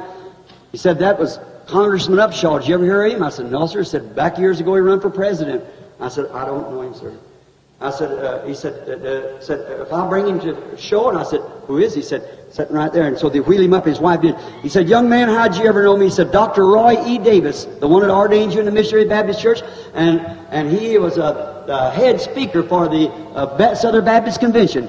He said he was the one sent me here for you to pray. He said, I've been prayed for since I was a little boy. But I always believed that God would heal me because I took the right stand in the time of prohibition. I, uh, when liquor was going to be brought in, I was called one of the dry bones. He said, I lost the President of the United States because of my stand. I said, that's a gallant thing, sir. I said, may the Lord bless you. I said, all right, bring your first patient. You're the first person who's come up. When it did, something happened to the lady and they told her about it. I turned to look again and I seen that old congressman with a pinstripe suit on, a red necktie, going down, bowing himself like this to the people, just walking right across the people. I said, Congressman, Jesus Christ has honored you. You're 86 years old now. But God has honored you. Look like when He's going to heal you, He healed you when He's a boy and your bones is all brittle and all, uh, uh, you know, flexible and so forth. I said, look like it healed you then, but He's healed you now. He said, do you mean I'm healed now? I said, thus saith the Lord. I said, if you got a, a pinstripe suit, he said, he's wearing a dark suit with a red tie. And I said, you got a pinstripe suit? He said, yes, sir, just bought one the other day. I said, rise up. Jesus Christ makes you whole. And how many knows it? His testimony stood on the uh, Billy Graham's meeting on the White House steps and sang, leaning on the everlasting arm. Never went to crutches or wheelchairs again as long as he lived. Amen. Jack Moore and I was yonder in old Mexico that night where had to be let down over the wall. A little woman there, a little Mexican Catholic. The night before that, laid hands on an old blind man. He got his sight. This little woman, he said, Billy, come to me. He said, Daddy, I call the man Manana. Manana means tomorrow. He was so slow. He was giving out the prayer cards, and Billy went with him to see he didn't sell one. So he said, he gave out all the prayer cards and said, this woman's got a baby that died this morning. It's nearly 10 o'clock at night. Outside in that bull ring there, in the, in the rain just pouring down. Some kind of a big open field like. And he said, they brought me in and let me down some ladder steps. Brother Jack Moore and is here now. He is on the platform. Said, I've got 300 ushers standing there can't hold that woman. Said she'd climb up over their shoulders, run between their legs. And I told her she couldn't get up here because she didn't have a prayer card and we ain't got no more prayer cards. She didn't care about that. She won't have hands they don't have baby. She's seen a Catholic man have been blind for 20 or 30 years receive his sight by being prayed for. She, and a rack of old garments. You think this is something? Oh, three times this platform stacked that high, just as far as you can see it. Old shawls and hats. How they ever know who it belonged to, I don't know. But they believe. Amen. Simple child faith. Hallelujah. So I said, well, I said to Brother Jack, he and I have part of hair the same, you know. So I, I said, Brother Jack, she wouldn't know the difference between you and I. You go down there and pray for the baby. And he said, all right, Brother Bram. He started down. And Jack sitting right there. So we was, uh, we started, I started to preach like this, and I looked, and I seen a little Mexican baby, a little black-faced baby, standing here from me, just smiling. His little gums didn't have any teeth. I said, wait a minute. Wait a minute. Bring the baby here. I said, Lord God, I don't know. She run up and have a crucifix in her hand, hollering, Padre, means Father. I said, stand up now. She had a little blue-looking blanket and a little baby stiff dead, laying on it, just soaking wet, her hair all down, pretty little lady, probably her first baby in her 20s, you know. She is holding down like this, and I said, I said, I'll pray for the baby.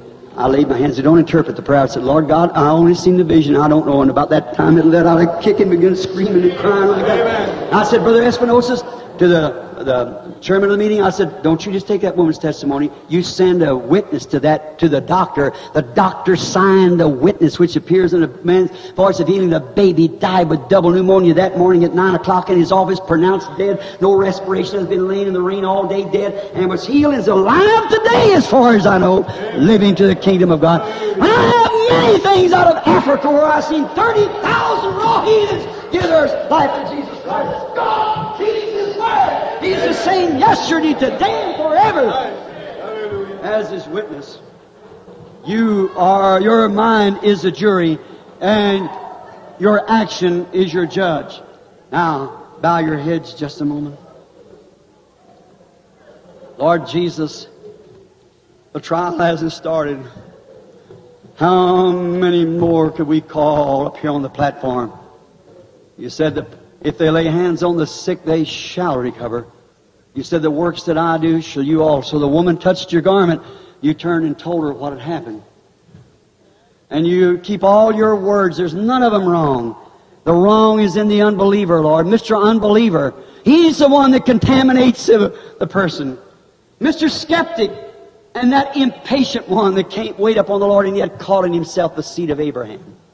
Oh, Holy Spirit, the defense witness, you know who has faith and who don't. God, I pray that you'll move back every unbelief this afternoon. And may the great judge of all the earth come forward now, the one who wrote the word. He is the word.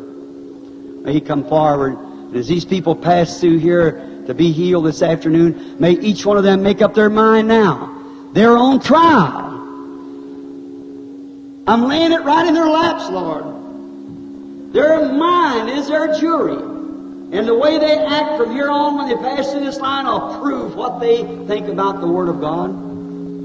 So grant, Lord, this last message that you preached to your disciples when you commissioned them, the last words that fell from your sacred lips, if they lay hands on the sick, they shall recover. That is, believers. Last things you said. The first commission you ever commissioned man to do. Matthew 10 was heal the sick, cast out devils. Freely as you receive, freely give. The last commission, go into all the world, cast out devils, lay hands on the sick, they shall recover. Lord, may the people realize that that faith anchors like it did to all these witnesses. They believe it. No matter, don't have to happen now, but what you said, you bring it to pass. You said if you don't doubt in your heart, by and by it shall come to pass. The seed has to grow. May the people see it and understand. For we asked it in Jesus' name. Amen. Are you a believer? Amen. Now, he keeps all of his words. You believe that? Now, real reverend, everybody, just a moment before we call the prayer line. We want order. Now remember, have you made up your mind? Have you come to a verdict, jury? Raise your hands if you come to a verdict. Is God justified or not justified? Is His Word, is He the same yesterday and forever? Or is He not? Now, if you raise your hand, pass through this line, then the way you act from here out, do you act like Abraham or Mr. Unbeliever? Hmm? Mr. Skeptic, Mr. Impatient? Discard them. Believe Jesus Christ the same yesterday, today, and forever. I'm a stranger to you. But now to let you know that He still is here, and if you just accept His Word in your heart, now you might not be able to do this. We have one of them in one generation. There was one Moses, ever the rest of them didn't have to turn saw, dust into fleas and so forth and water into blood. There's one Moses, the rest of them just believe what he said. There was a group up there wanted to make an organization out of it, Dathan and them, and God said, separate yourself from them, in the world took them. And that was only a, that was a type of this being the antitype. The world gets them by and by. You see what happens to every one of them. But thou canst believe, all things are possible. You believe that? Sure, all things are possible if they believe. All right, you pray. You put your faith in Almighty God. There was a question here that I wanted to say here. Yes. When your neighbors see you and the people that sees you come through this line this afternoon, when they see you coming through this line, they will know what your verdict is after you hear the way you act and the way you testify. If the next time you run to your pastor, oh, I didn't get it, I want to try it again, see you're digging up the seed, it will never come to pass. See? Don't dig up your seed. Commit it and leave it there. Forget about it. That's up to God. In your heart, if you can believe it, it'll happen. Do you believe that, sir, sitting right there, that gray looking suit on, sitting right back there looking at me? You believe that? Then your nervousness left you. Hallelujah. I've never seen the man in my life. Were we strangers one another, sir? That's right. That's what you're suffering with. That you might know, me being a servant of God, the woman sitting next to you is suffering with stomach trouble. That's right. You believe it? Raise up your hands. You believe you're healed. Just have faith. Woman sitting next to her's got heart trouble. You believe that? That God will heal you? All right, sir. If you believe it, you can have it. One sitting next to her has female trouble. You believe that God will heal you? the woman sitting next to that, the heavy set lady, she's got diabetes. You believe God will heal you? The woman sitting up there's got something wrong with her. She's got she's got female trouble sitting right up there on the end of the road. I believe that's her daughter sitting right back from her there. Has got some kind of a head trouble. Was caused by an accident. Is that right? Raise up your hands in the balcony. What is he?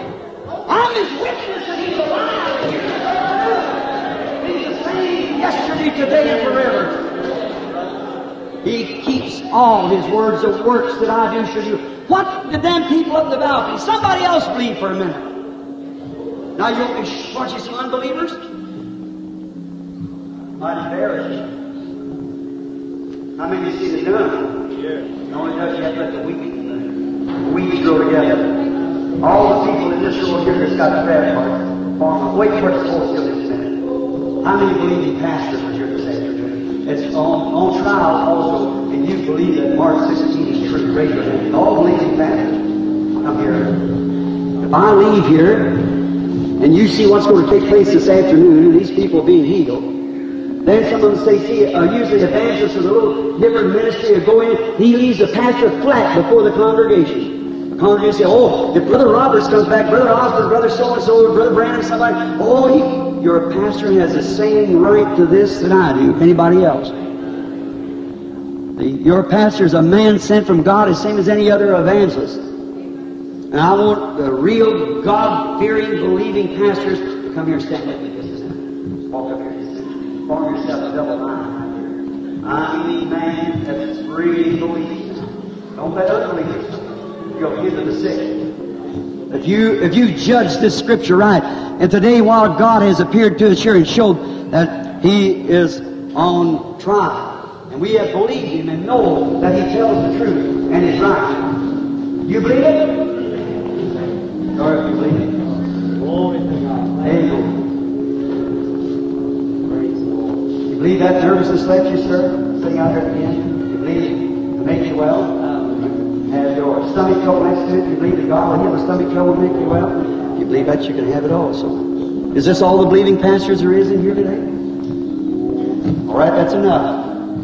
One enough. Let all the people that got prayer cards and believe Mark 16. Now remember, don't you come if you don't believe it. See, don't come up here and have hypothesis. See, that's worse than ever. If you don't believe it, just say, no, I don't believe it. Go on with Mr. Unbeliever, Mr. Skeptic, or somebody. But if you're a genuine seed of Abraham and you want to take your stand, your verdict has been, met, and you want to show the world that your verdict is met, that you believe that every word Jesus Christ said is the same, and the witnesses proved it to you this afternoon, that He is the same yesterday, today, and forever. Let those got prayer cards here walk right down here, stop right here. Stand right there, if you will. I just. That's all that's in this section here that's got prayer cards. Turn and go around the back and in line right behind them on this side. Now, that's all that's, that's in this other section over here. Turn and go back to the wall. That way, to follow right behind this line here. Let all that's in the balcony follow right behind this. All you just got there for is to be prayed for. And you've made up your mind, your verdict is settled. You've done been reached. Go towards the wall and form a line coming right in behind here. Now, what does the Bible say? Let me read it again.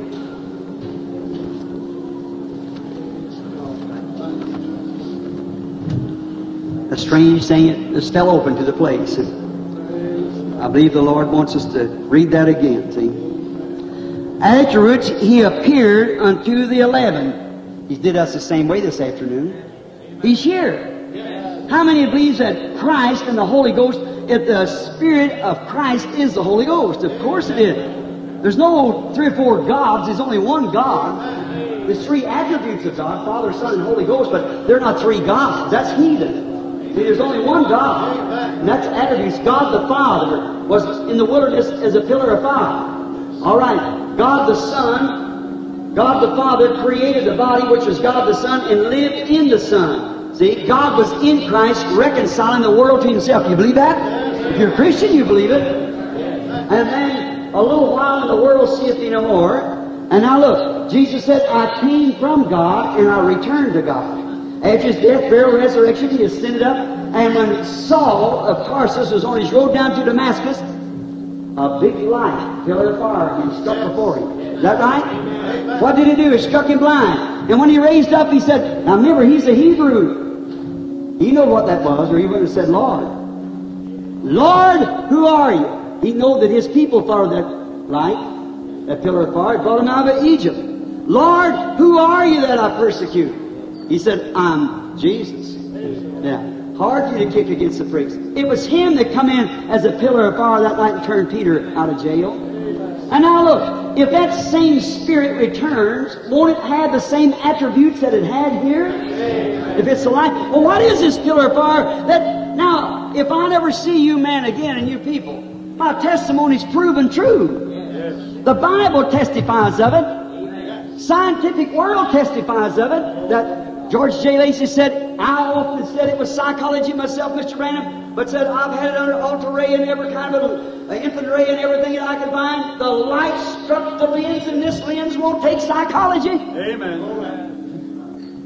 So if I live or die, it's true anyhow. The church knows it true. Science knows it true. Now what about you? Remember, it's not me, it's Him. It's not me, I'm nobody, but just one of you all. It's Him. He has to get somebody. Nobody's worthy of it. But somebody has to do it.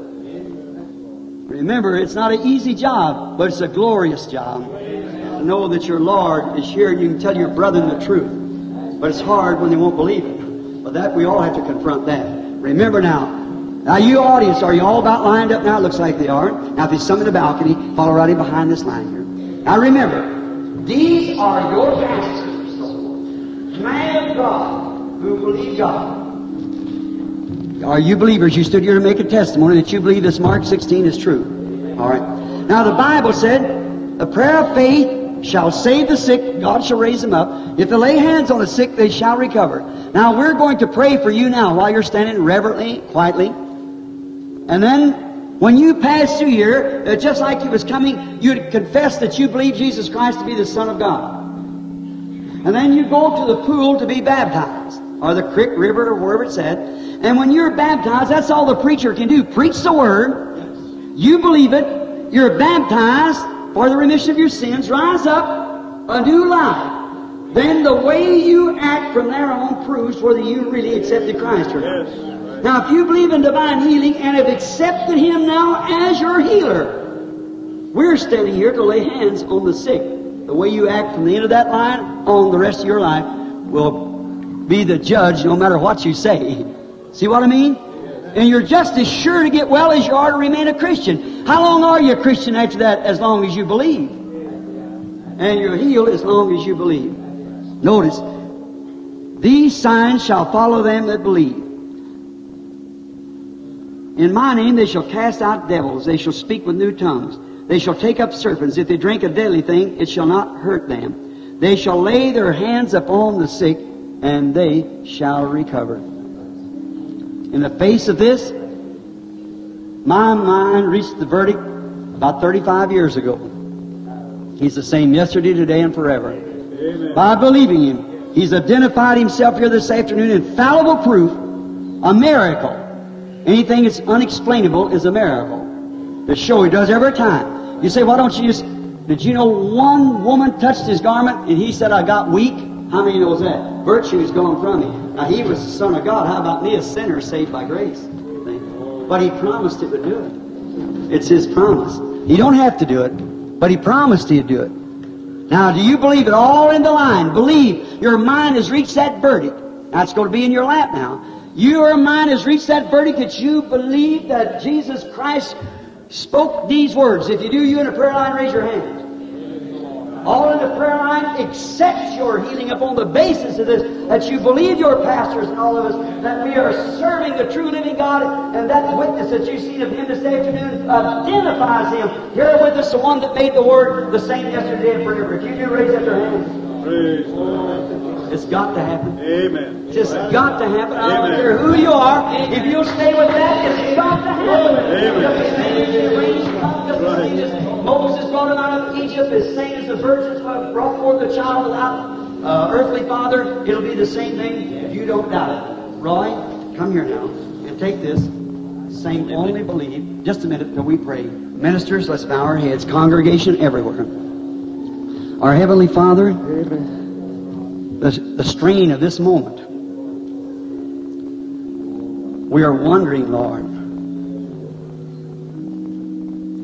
just how many really believes. The seed has been sown. The word has been read. Christ, the Holy Ghost, has appeared before us and showed that that light that was in this light, and He was the light of the world. He's the light now.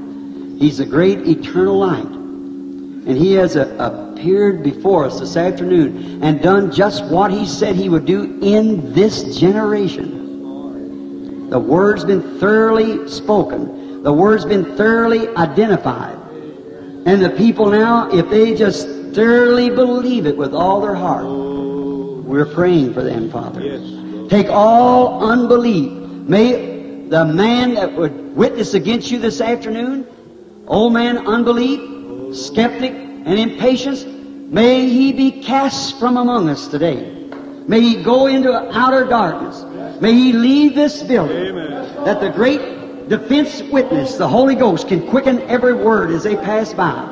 Granted. May they go from here, their, their mind has already passed the verdict, and they're coming through, and now Holy Spirit quicken that word to them that the work is finished as soon as the last application has been done by laying hands on the sick. Grant it, Lord. I claim every one of their healing Yes. in the name of Jesus Christ. Now, next thing to be done, laying on of hands is like a ceremony for baptisms, and you're buried with him in hand, and you rise and walk away to a new life. Amen. You might not feel like it, but you believe it. Just keep staying with it. Finally, after a while, you find out you got a new life. That's the same way it is yours. It's a seed that's sown. We're planting it now by laying hands upon it. What are we doing this? Identifying ourselves. Like in the Old Testament, they laid hands upon their sacrifice to identify themselves. By faith, we lay our hands upon Christ to identify ourselves with Him. Today, we lay our hands upon the sick to identify ourselves with this Word.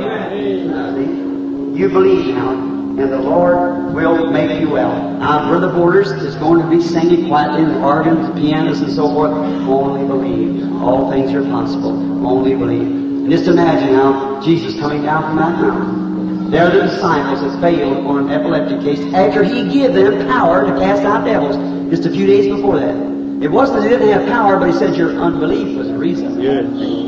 But when he come to Jesus, he knew he hit faith there. I believe with all your heart. Now while we quietly sing, only believe, Brother Porter. Let's all sing it together now.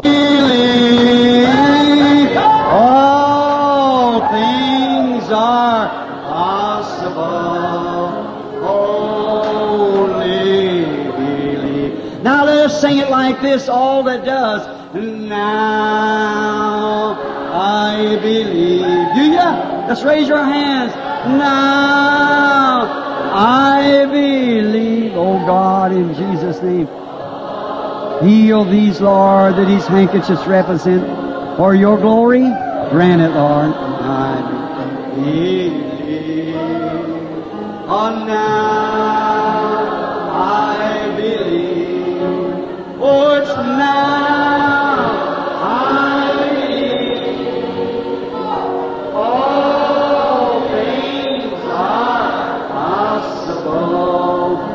It's now. You know what we have done? We have followed the commandments of Jesus Christ. Now, are you still with your verdict? I am healed. It's impossible for me not to get well because God made the promise. With my dying lips, the last thing on my lips, I believe I am healed. Do you believe it like that? I believe it. God bless you, my brother, sister. Now let us stand up to our feet just a moment. I don't know when it will be. I hope right away. But till we meet,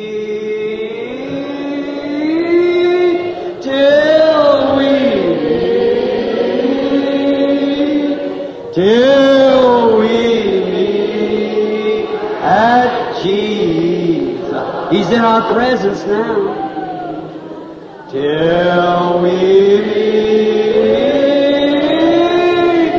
till we meet. God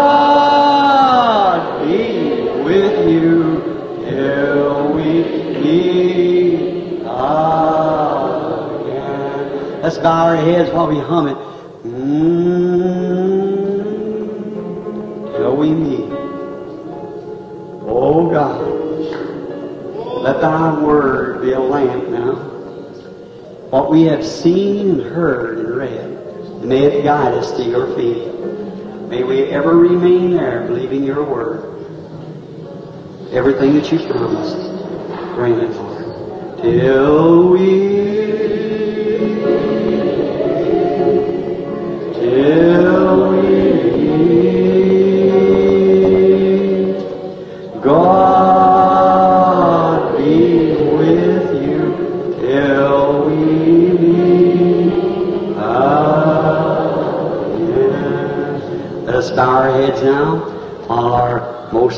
lovely brother, Brother Johnson, takes you to the dismissing prayer.